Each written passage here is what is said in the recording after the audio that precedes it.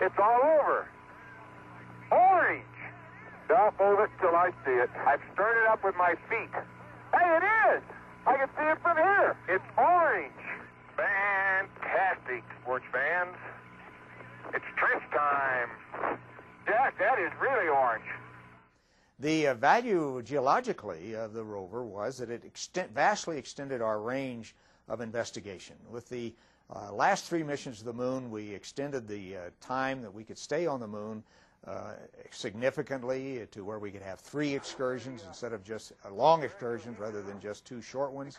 And indeed, we would not have discovered the orange soil or pyroclastic glass uh, at Shorty Crater if we had not had the rover. We never would have gotten there. We'd never been out that far and been had a chance to visit that point. And that orange soil has turned out to be probably the most significant scientific sample uh, that was brought back from the moon. You all know that uh, very significant discovery of some orange soil was uh, made uh, by uh, Jack Schmitt. What he really doesn't know is that I had a little excess tang left over, and I dumped it out every time I went by. In spite of Ron's uh, clumsiness with the tang, uh, we have done something with your rockets and with your rover that is unique in the history of mankind. I think we can truly say that as a result of the Apollo exploration and the samples uh, that we returned, and then uh, we developed a first order understanding of the origin and evolution of the moon.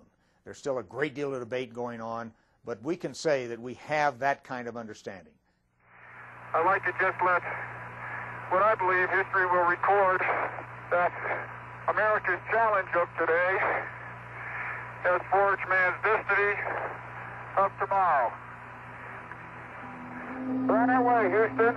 Vector good. Thought. Good to see you. Good to have you all back up here.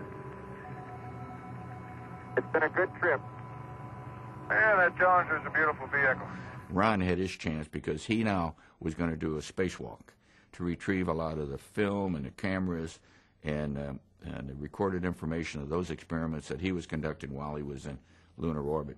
I remember he was out there on that umbilical and he waved at the television camera to his kids. He said, Hey, John, how you doing? Hi, Jamie. That was kind of the last thing we were, we were able to accomplish or do on that flight. And you all had to make sure that everything worked up until that time. You really did. You had to get the booster off of the ground. You've got to make sure you get on the way to the moon.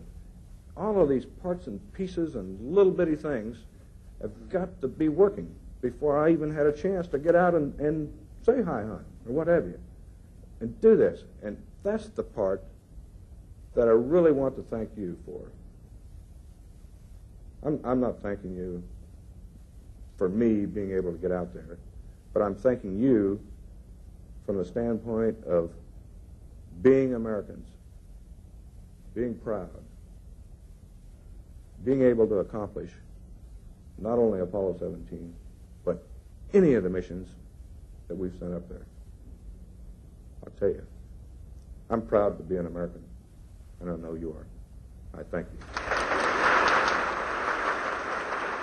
Now, the loss of Ron was unexpected, uh, uh, and it was it was a tough team, a tough thing to take. Uh, he's still part of our crew. Well, Ron was one uh, uh, was an astronaut that I think represented the the mainstream of the astronauts. He came from a uh, from the middle of the United States in Kansas. he went to the Navy, as so many Midwesterners do uh, Vietnam veteran, over 100 combat missions. And coincidentally enough, when we came back from Apollo 17, uh, the ship that was our recovery ship was the USS Ticonderoga, the same ship, Poetic Justice for Ron. Poetic Justice, same ship that Ron had served aboard during the Vietnam War. We stood on the shoulders of giants, and uh, I'm looking at those shoulders right now you know, we need to get back into that Saturn V world mentality, quite frankly, to to build something that will take us back out there where we belong. And quite frankly, I am I, I have been the last man on the moon for far far longer than I ever ever, ever dreamed of being.